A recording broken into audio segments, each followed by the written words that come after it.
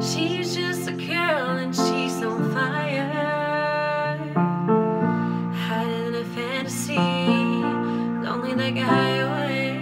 She's living in a world and it's on fire. Feeling the catastrophe, she knows she